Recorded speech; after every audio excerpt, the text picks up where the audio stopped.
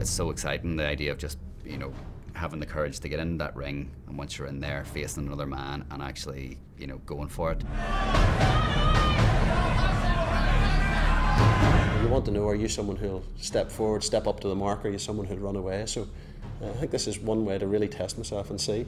Visions of them making the trip up to uh, Belfast and me getting knocked in my arse in the first round, so I definitely don't want that, and I'd never live it down. You do two minutes in a box it doesn't sound a lot, and it might not, might not even look like a lot, but believe you me, every part of your body is hurting.